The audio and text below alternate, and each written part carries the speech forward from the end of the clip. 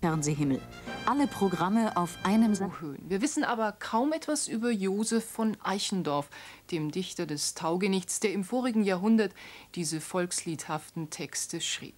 Eichendorff stand am Ende einer großen Epoche. Er selbst bezeichnete sich einmal als den letzten Romantiker. Hans-Sirks Lampe zeichnet ein Porträt des Dichters und Lyrikers.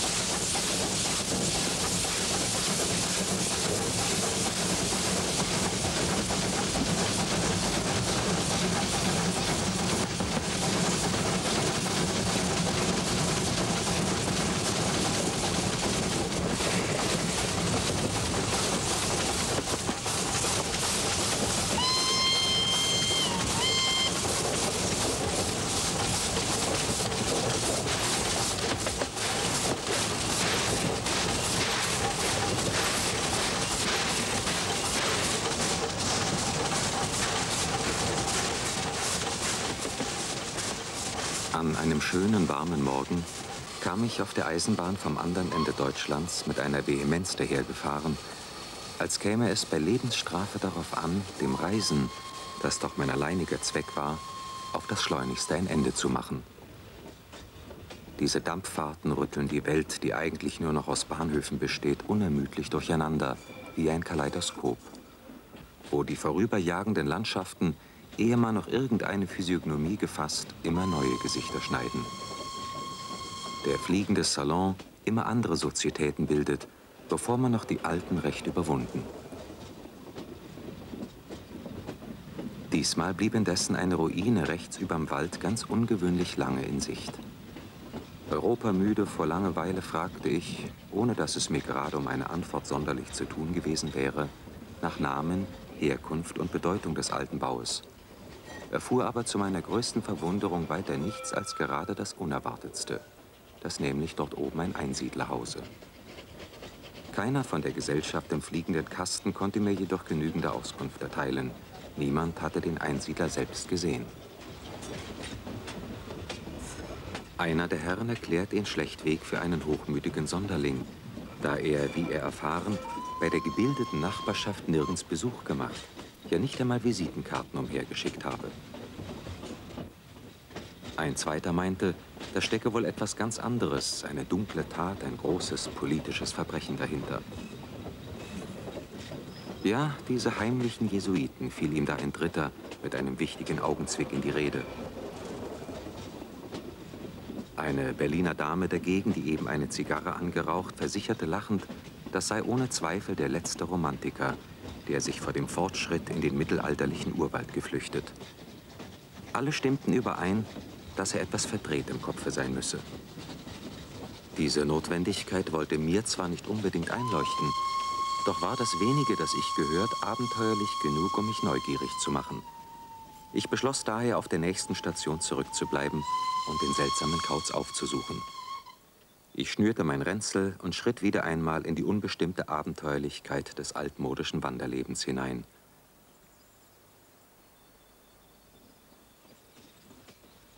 Schon verschlüpfte die Rauchschlange des Bahnzuges weit hinter mir in den versinkenden Tälern. Und statt der Lokomotive pfiffen die Waldvögel gerade ebenso wie vor vielen, vielen Jahren, da ich mir als Student zum ersten Mal die Welt besehen. Als wollten sie fragen, wo ich denn so lange gewesen. So kam ich an die Ruine. Sie lag malerisch verfallen und fraternisierte längst mit dem Frühling, der mit seinen blühenden Ranken überall an Pfeilern und Wänden lustig hinaufkletterte. Wo ist der Herr Einsiedler? fragte ich mich und eilte der Ruine zu. Dort saß ein Mann den Rücken nach mir gekehrt und wie es schien, eifrig in einen schweinsledernen Quartanten vertieft, der auf dem steinernen Tische vor ihm lag.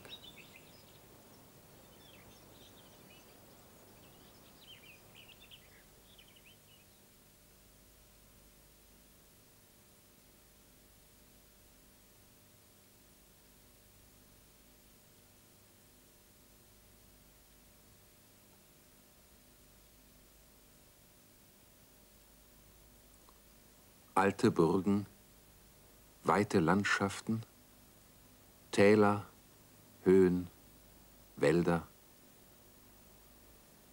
das Wandern und Reisen, im kühlen Grunde die Mühle,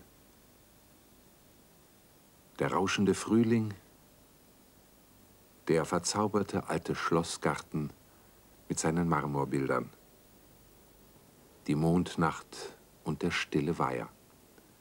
Immer wieder tauchen dieselben Bilder bei Eichendorff auf.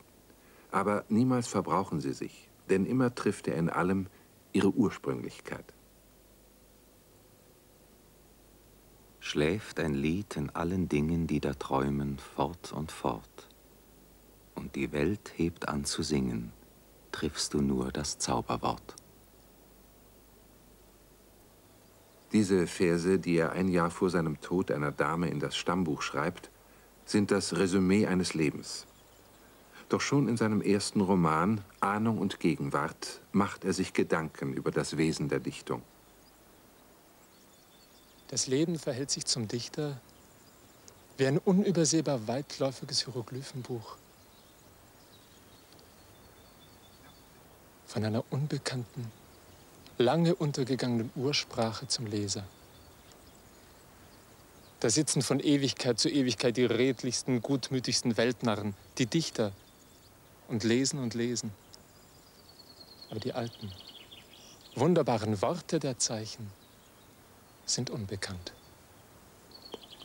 Poetisch sein und Poet sein, das sind zwei sehr verschiedene Dinge. Man mag darüber denken, was man will.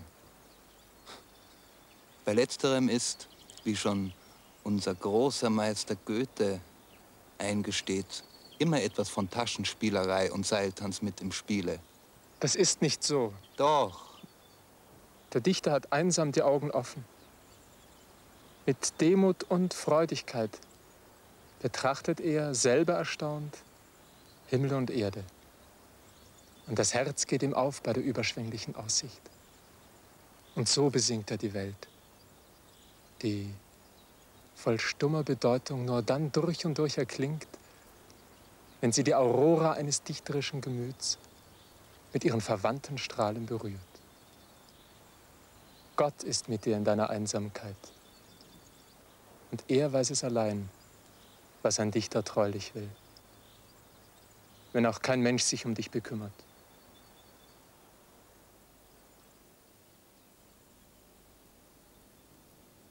Ein Adler saß am Felsenbogen, den lockt der Sturm weit übers Meer.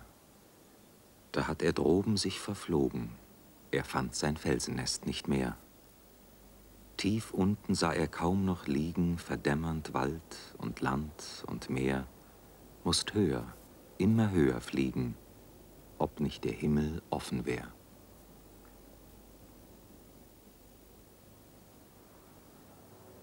Geboren wurde Josef von Eichendorff auf einem Landschloss in Oberschlesien, in Lubowitz. Als er im Alter seine Lebenserinnerungen schreibt, kann er sich mit aller dichterischen Freiheit auch recht gut auf seine eigene Geburt besinnen. Der Winter des Jahres 1788 war so streng, dass die Schindelnägel auf den Dächern krachten, die armen Vögel im Schlaf von den Bäumen fielen. In einer Märznacht desselben Winters gewahrte man auf dem einsamen Landschloss zu L ein wunderbares, geheimnisvolles Treiben. Da wurde ich in der Stube neben dem Tafelzimmer geboren. Mein Vater, da er einen Kinderschrei hörte, blickte erschrocken nach dem Himmel. Der Mond hatte soeben kulminiert. Um ein Haar wäre ich zur glücklichen Stunde geboren worden. Ich kam gerade nur um anderthalb Minuten zu spät. Ich meinerseits weiß nur noch dunkel so viel zu erinnern, dass ich so recht gemütlich und warm in der wohlgeheizten Stube in meinen Kissen lag und verwundert die spielenden Ringe und Figuren betrachtete, welche die Nachtlampe an der Stubendecke abbildete. Meine Mutter neigte sich mit ihrem schönen, bleichen Gesicht und den großen Augen freundlich über mich, dass ihre Locken mich ganz umgaben, zwischen denen ich draußen die Sterne und den stillen Schnee durchs Fenster hereinfunkeln sah. Seitdem So oft ich eine klare, weitgestirnte Winternacht sehe, ist mir es immer wieder, als würde ich neu geboren.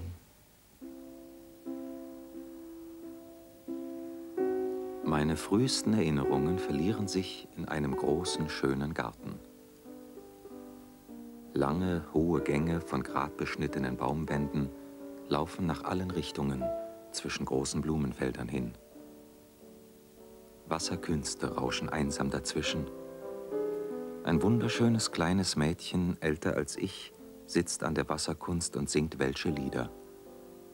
Während ich oft stundenlang an den eisernen Stäben des Gartentors stehe, das an die Straße stößt und in die glänzende Ferne hinaussehe. Diese ganze stille Zeit liegt weit hinter all dem Schwalle der seitdem durchlebten Tage wie ein uraltes, wehmütig süßes Lied. Und wenn mich oft nur ein einzelner Ton davon wieder berührt, fasst mich ein unbeschreibliches Heimweh.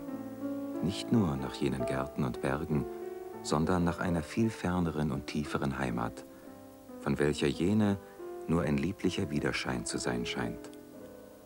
Ach, warum müssen wir jene unschuldige Betrachtung der Welt jene wundervolle Sehnsucht, jenen geheimnisvollen, unbeschreiblichen Schimmer der Natur verlieren, indem wir nur manchmal noch im Traume unbekannte, seltsame Gegenden wiedersehen.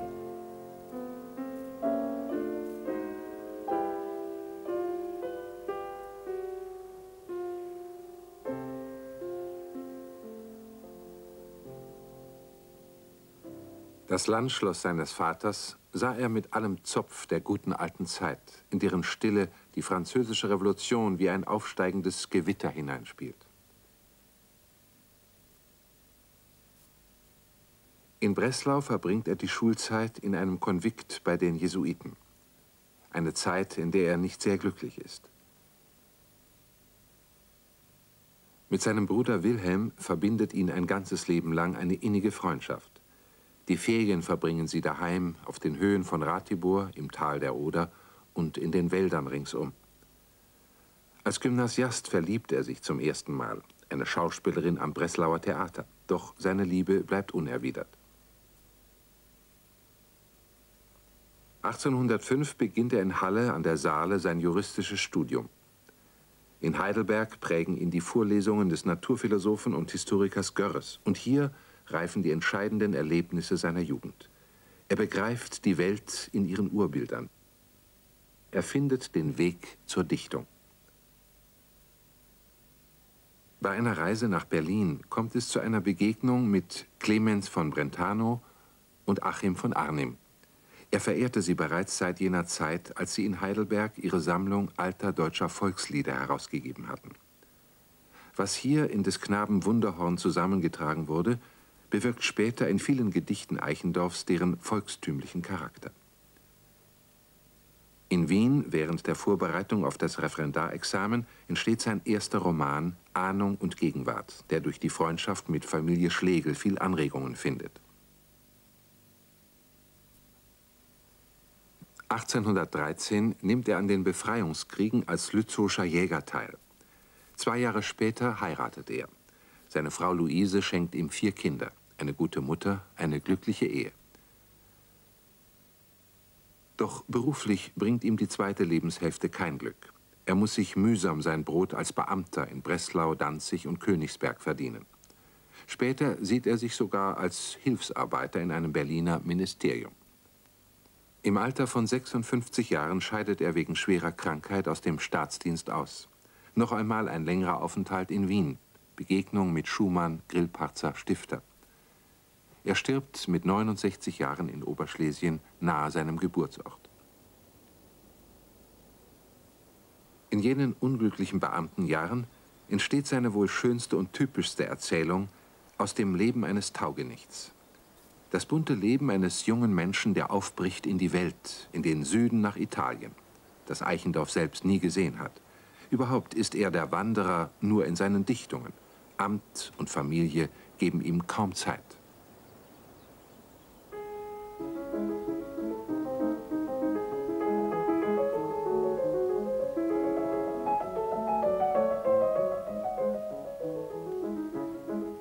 Das Rad an meines Vaters Mühle brauste und rauschte schon wieder recht lustig. Der Schnee tröpfelte emsig vom Dache, die Sperlinge zwitscherten und tummelten sich dazwischen. Ich saß auf der Türschwelle und wischte mir den Schlaf aus den Augen. Mir war so recht wohl in dem warmen Sonnenscheine.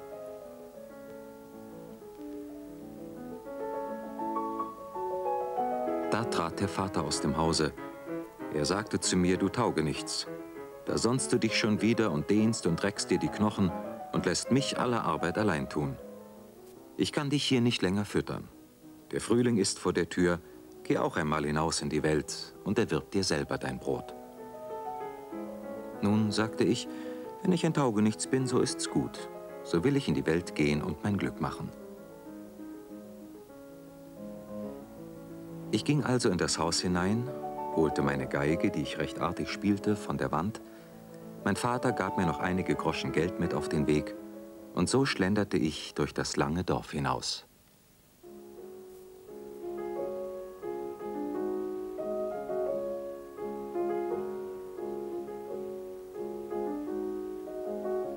Ich hatte recht meine heimliche Freude, während ich so in die freie Welt hinausstrich.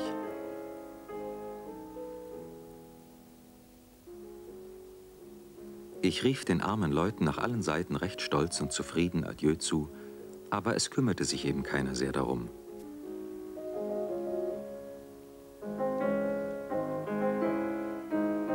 Mir war es wie ein ewiger Sonntag im Gemüte. Und als ich endlich ins freie Feld hinauskam, da nahm ich meine liebe Geige vor und spielte und sang, Wem Gott will rechte Gunst erweisen, den schickt er in die weite Welt. Dem will er seine Wunder weisen in Berg und Wald und Strom und Feld. Die Trägen, die zu Hause liegen, erquicket nicht das Morgenrot. Sie wissen nur vom Kinderwiegen, von Sorgen, Last und Not um Brot. Die Bächlein von den Bergen springen, die Lerchen schwirren hoch vor Lust. Was sollte ich nicht mit ihnen singen aus voller Kehl und frischer Brust? Den lieben Gott lass ich nur walten, der Bächlein, Lerchen, Wald und Feld und Erd und Himmel will erhalten, hat auch mein Sach aufs Best bestellt.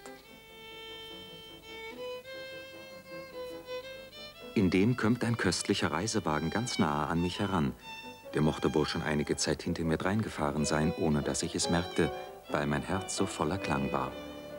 Zwei vornehme Damen steckten die Köpfe aus dem Wagen und hörten mir zu.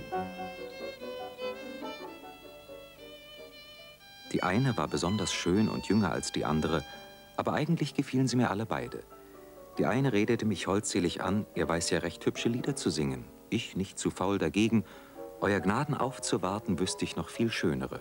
Darauf sie, Wohin wandert er denn schon so am frühen Morgen? Da schämte ich mich, dass ich das nicht selber wusste und sagte dreist, nach Wien.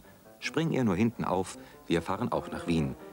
Wer war froher als ich und war mit einem Sprung hinten auf dem Wagen. Der Kutscher knallte und wir flogen über die glänzende Straße fort, dass mir der Wind durch die Haare pfiff.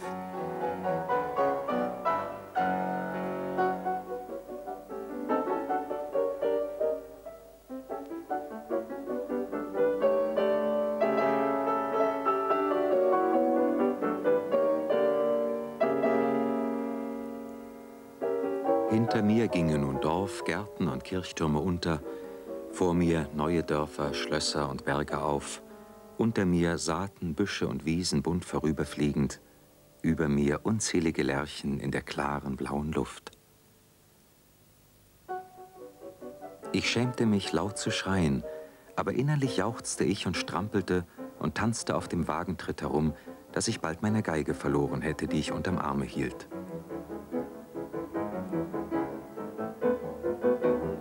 Wie aber dann die Sonne immer höher stieg, rings am Horizont schwere weiße Mittagswolken aufstiegen und alles in der Luft und auf der weiten Fläche so leer und schwül und still wurde über den leise wogenden Kornfeldern, da fiel mir erst wieder mein Dorf ein und mein Vater und unsere Mühle, wie es da so heimlich kühl war an dem schattigen Weiher und dass nun alles so weit, weit hinter mir lag. Mir war dabei so kurios zumute, als müsste ich wieder umkehren. Ich steckte meine Geige unter die Weste, legte mich voller Gedanken auf den Wagen hin und schlief ein.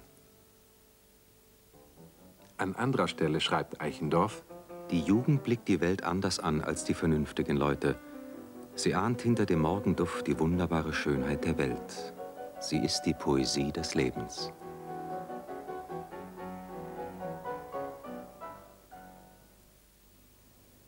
Das Jahr in Heidelberg wird für Eichendorff entscheidend für das ganze Leben. Und so erklärt sich, dass diese Stadt auch in seiner Dichtung immer wieder auftaucht. Sie wird ihm zum Symbol eines äußerlich ungebundenen Lebens, einer sorgenlosen Freiheit, wie er sie als Student erfuhr. Und so beginnt auch seine Erzählung Dichter und ihre Gesellen. In den letzten Strahlen der Abendsonne wurde auf der grünen Höhe ein junger Reiter sichtbar, der zwischen dem Jauchzen der Hirten fröhlich nach dem freundlichen Städtchen hinabritt, das wie in einem Blütenmeere im Grunde lag. Er sann lange nach, was ihn hier mit so altbekannten Augen ansah. Da fiel es ihm plötzlich aufs Herz. Wie in Heidelberg lagen die Häuser da unten zwischen den Gärten und Felsen. So war er als Student so manches Mal sommermüde von den Bergen heimgekehrt und hatte über die Feuersäule, die das Abendrot über den Neckar warf, in die duftige Talferne, gleich wie in sein künftiges, noch ungewisses Leben hinausgeschaut. Mein Gott, rief er endlich, da in dem Städtchen muss ja Walter wohnen, mein treuer Heidelberger Kamerad, mit dem ich manchen stillen, fröhlichen Abend auf den Bergen verlebt. Er gab ungeduldig seinem Pferde die Sporen und hatte bald die Universität der Stadt erreicht.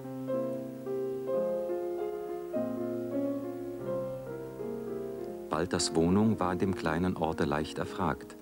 Ein buntes, freundliches Häuschen am Markte mit hohen Linden vor den Fenstern, in denen unzählige Sperlinge beim letzten Abendschimmer einen gewaltigen Lärm machten. Was muss Walter, der wackere Gesell, nicht alles schon wissen, wenn er fortfuhr, so fleißig zu sein wie damals? Der Reisende sprang eilig die enge, etwas dunkle Treppe hinan. Die Abendsonne, durch das Laub vor den Fenstern zitternd, vergoldete soeben die ganze stille Stube. Walter saß im Schlafrock am Schreibtische neben großen Aktenstößen. Tabakbüchse, Kaffeekanne und eine halbgeleerte Tasse vor sich. Er sah den Hereintretenden erstaunt an. Baron Fortunat und beide Freunde lagen einander in den Armen. Also so sieht man aus in Amt und Brot, sagte Fortunat nach der ersten Begrüßung, während er Walter von allen Seiten umging und betrachtete. Denn es kam ihm vor, als wäre seit den zwei Jahren, dass sie einander nicht gesehen, die Zeit seltsam über das frische Bild des Freundes dahingefahren. Er schien langsamer, bleicher und gebückter.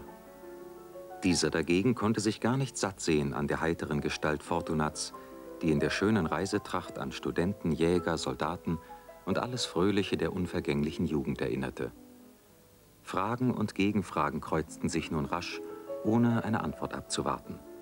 Walter pries vor allem sein Glück, dass ihn hier so schnell eine leidliche Stelle hatte finden lassen, und so sehe er einer sorglosen Zukunft entgegen. Bei den Erinnerungen an die fröhliche Studentenzeit ging ihm so recht das Herz auf. Er hatte gar bald alle Scheu und blöde Rücksicht abgeschüttelt. Wie glücklich bist du zu preisen, rief er seinem Freunde zu, dass dir vergönnt ist, so mit den Vögeln durch den Frühling zu ziehen und die Reise nach Italien nun wirklich anzutreten, die wir in den heitersten Stunden in Heidelberg so oft miteinander besprachen. Das waren schöne Jugendträume.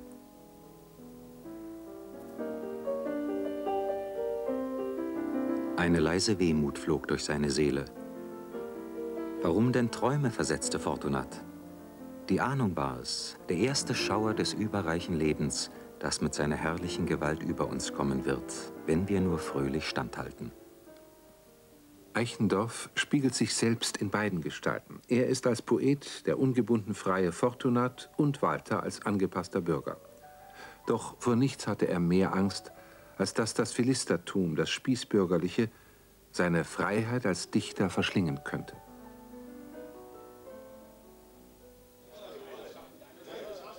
So war auch das ganze Studentenwesen eigentlich ein wildschönes Märchen, dem gegenüber die übrige Menschheit die altklug den Maßstab des gewöhnlichen Lebens daran legte, philisterhaft und lächerlich erscheinen musste. In jener Zeit brütete äußerlich noch ein unheimlicher Frieden über Deutschland. Aber die prophetischen Gedanken, die den Krieg bedeuten, arbeiteten in jeder Brust und suchten sich in wunderlichen Geheimbünden Luft zu machen. Auch auf den Universitäten bestanden dergleichen Ordensverbindungen mit furchtbaren Eiden und rasselndem Heldenschmuck, wie man es damals in vielen Ritterromanen fand.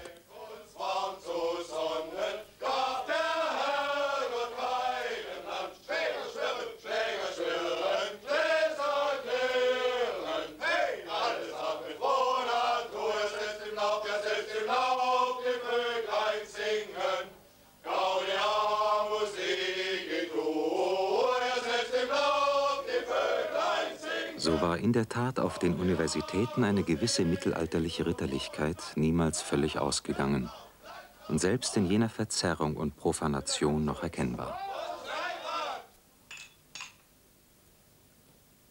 Noch einmal fährt er in seine Heimat. Er nimmt Abschied von Lubowitz. Er ist tief bewegt und es entsteht das Gedicht O Täler weit, O Höhen. Zum ersten Mal sind ihm Verse gelungen, die so ganz den Ton des Volksliedes und der deutschen Seele treffen.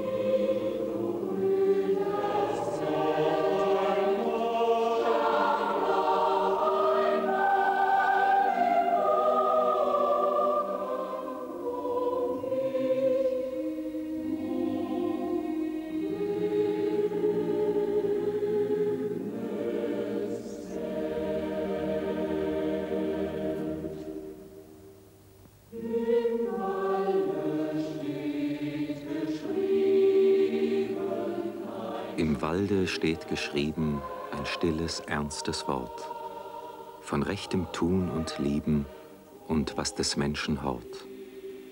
Ich habe treu gelesen die Worte schlicht und wahr, und durch mein ganzes Wesen ward's unaussprechlich klar. Bald werd ich dich verlassen, fremd in der Fremde gehen, auf bunt bewegten Gassen des Lebens Schauspiel sehen. Und mitten in dem Leben wird deines Ernstes Gewalt mich einsamen erheben. So wird mein Herz nicht alt. Eichendorff bricht auf von Lubowitz, um es für lange Zeit nicht mehr wiederzusehen. Alles, was seine Jugend hier so schön gemacht hatte, war verloren.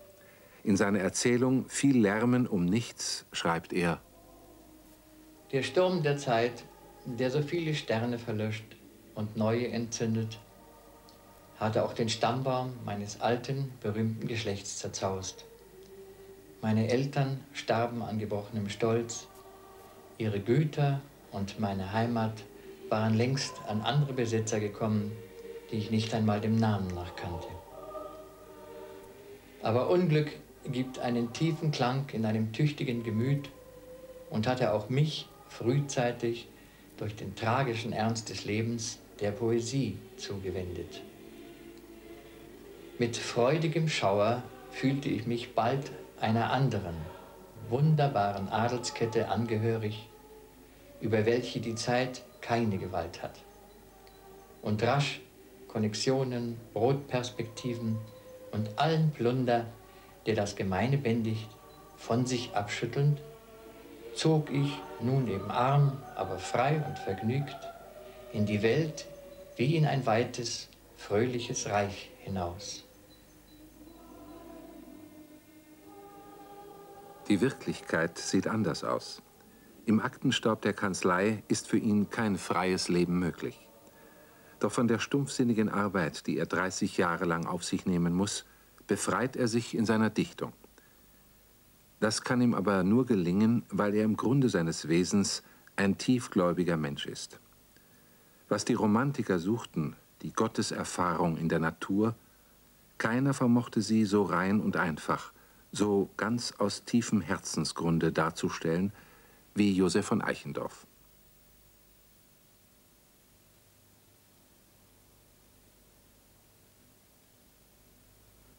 O wunderbares, tiefes Schweigen, wie einsam ist's noch auf der Welt. Die Wälder nur sich leise neigen, als ging der Herr durchs stille Feld. Ich fühl mich recht wie neu geschaffen. Wo ist die Sorge nun und Not? Was mich noch gestern wollt erschlaffen, ich schäm mich des im Morgenrot. Die Welt mit ihrem Gram und Glücke will ich, ein Pilger, froh bereit betreten, nur wie eine Brücke, zu dir, Herr, übern Strom der Zeit.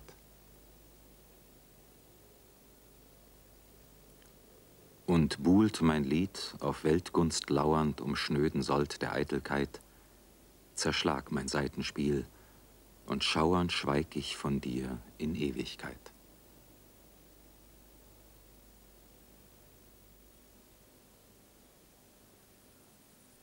Die Nacht ist die Zeit, in der die Ahnung zur Gegenwart wird, in der der junge Poet in der Erzählung Dichter und ihre Gesellen das Idealbild seiner Liebe erblickt zu haben glaubt.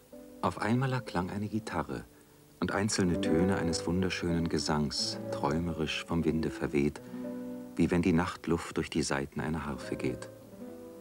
Er eilte zu dem Garten, woher die Töne kamen. Das Pförtchen war nur angelehnt. Er trat hinein. Da stutzte er, denn es war, als flöge der Schatten einer fliegenden Gestalt heimlich zwischen den Gebüschen hin. Sonst war alles still. Neugierig ging er weiter in die dunklen Schatten der alten Bäume hinein. Der Mondenschein glänzte seitwärts über die Rasenplätze. Da bemerkte er einen Weiher, von Trauerweiden umhangen. Eine weiße Statue schimmerte durch die Zweige herüber. Eine Nymphe, die halb abgewandt am Weiher auf ihrem Arme ruhte. Er wollte eben näher hinzutreten, als plötzlich tiefer aus dem Garten ein heller Lichtschimmer durch die Bäume funkelte und ebenso schnell wieder verschwand. Erschrocken, zögernd wandte er sich zurück. Er suchte das Pförtchen wieder, aber die Streiflichter des Mondes und die schwankenden Schatten der Bäume dazwischen verwirrten ihn ganz. Und ehe er sich besinnen konnte, stand er vor den Marmorstufen eines hohen, altertümlichen Palastes. Er hörte ein leises, heimliches Kichern, und hinter den Zweigen hervor trat eine schlanke Mädchengestalt. Sie flüsterte mit der lieblichsten Stimme, Siehst du, das ist der Willkommen, weil du mich überrascht hast. Und ihn schnell an der Hand fassend, das ist ja prächtig, dass du schon heute kommst.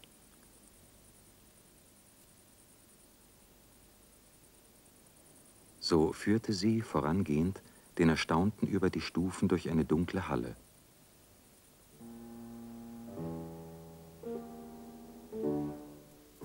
Plötzlich traten sie in ein erleuchtetes Gemach. Sie wandte sich rasch herum. Er schaute betroffen im Zimmer umher. Eine Gitarre und aufgeschlagene Notenhefte lagen unordentlich herum.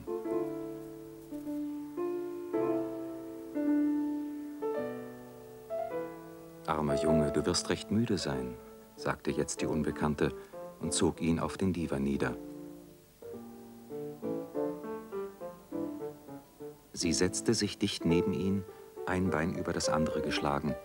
Er musste ihr erzählen, woher er gekommen, wer er sei und was er hier treibe.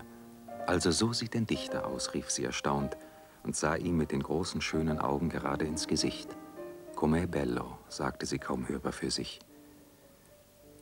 Darauf nahm sie einen Pfirsich aus der Kristallschale und biss mit ihren weißen Zähnchen herzhaft hinein.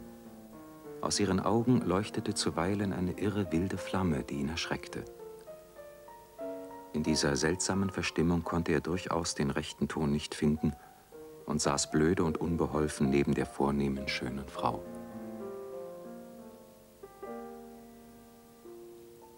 Da lachte sie plötzlich mutwillig auf. Er wusste nicht worüber. Dann sprang sie auf und brachte ein zierlich gebundenes Buch hervor. Kennst du das? fragte sie, ihn den funkelnden Goldschnitt vorhaltend. Es waren seine Gedichte. Ich kenn sie noch nicht, sagte sie. Lies mir was vor daraus. Sie setzten sich wieder.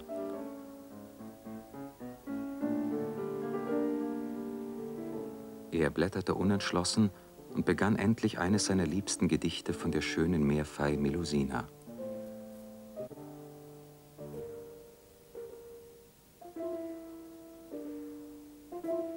Und dass du's nur weißt, unterbrach ihn die Dame, ich bin eigentlich selbst die Melusina. Du darfst nur in den Nächten vom Montag und Donnerstag in den Garten kommen. Frag nicht nach mir und plaudere nicht davon. Wenn du mich ein einziges Mal bei Tage erblickst, sehen wir uns niemals mehr wieder. Er sah sie verwundert an, dann las er wieder weiter.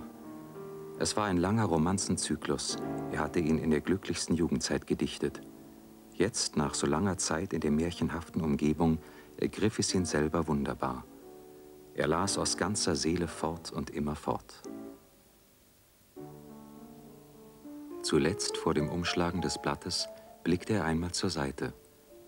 Die schöne Frau lag fest eingeschlafen neben ihm. Er schwieg, ihn schauderte heimlich, denn die schlanke Gestalt in dem weißen Gewande ruhte auf ihrem Arm eingeschlafen, gerade wie die Statue vorhin am Weiher.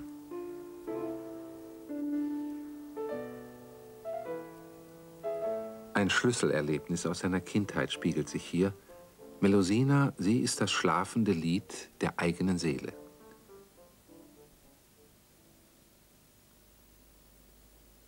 Die Sehnsucht der Romantiker ist zu verstehen aus der Tatsache, dass eine große Epoche zu Ende gegangen ist. Es beginnt das Industriezeitalter. Hinter dem Wald, den Eichendorff noch besingt, steigen bereits die Fabrikschornsteine empor. Er ist nicht blind gegenüber diesen neuen Strömungen, doch gerade deshalb gilt es für ihn, die schöne alte Zeit festzuhalten. In einem Brief bezeichnet er sich selbst als den letzten Romantiker. Eichendorffs Größe war von ganz unauffälliger Art. Er liebte es geradezu unscheinbar zu sein, unbeachtet zu bleiben. Nur so fand er die Stille, in der er nach seiner Urheimat lauschte.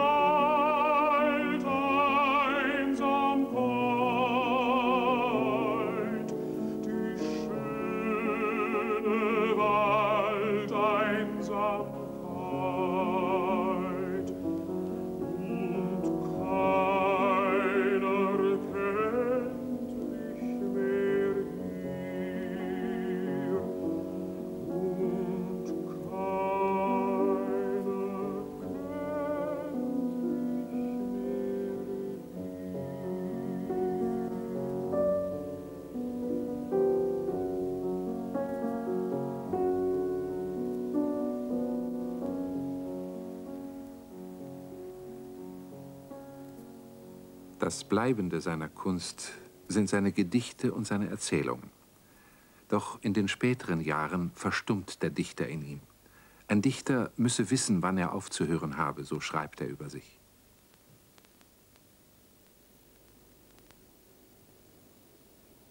Gestürzt sind die goldenen Brücken und unten und oben so still. Es will mir nichts mehr glücken, ich weiß nicht mehr, was ich will. Von üppig blühenden Schmerzen rauscht eine Wildnis im Grund. Da spielt wie in wahnsinnigen Scherzen das Herz an dem schwindligen Schlund. Die Felsen möchte ich packen vor Zorn und Wehe und Lust und unter den brechenden Zacken begraben die wilde Brust.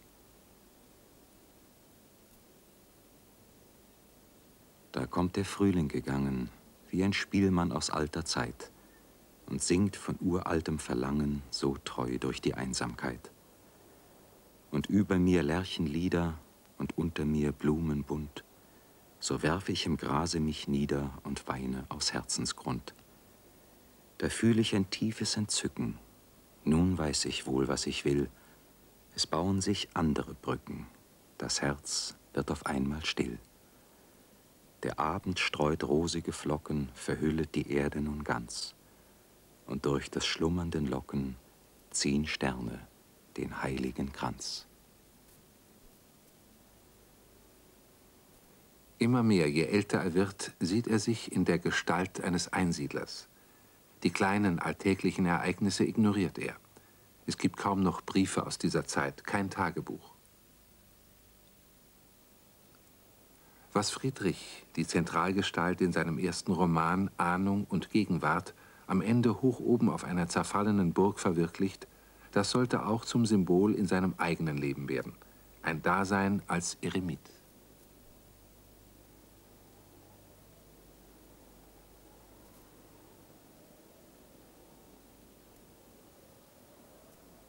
In Friedrich entwickelte diese Abgeschiedenheit endlich die ursprüngliche religiöse Kraft seiner Seele, die schon im Weltleben durch gutmütiges Staunen geblendet und falsche Bahnen suchend, aus allen seinen Bestrebungen, Taten, Poesien und Irrtümern hervorleuchtete. Jetzt hatte er alle seine Pläne, Talentchen, Künste und Wissenschaften unten zurückgelassen und las wieder die Bibel, die er schon einmal als Kind angefangen.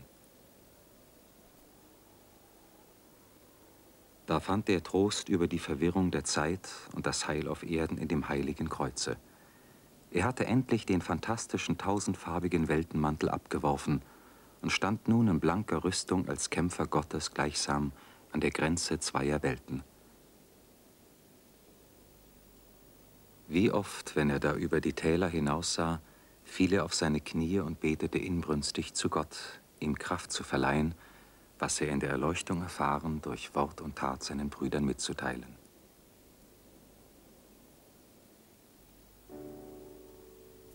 Komm, Trost der Welt, du stille Nacht, wie steigst du von den Bergen sacht, die Jahre wie die Wolken gehen und lassen mich hier einsam stehen.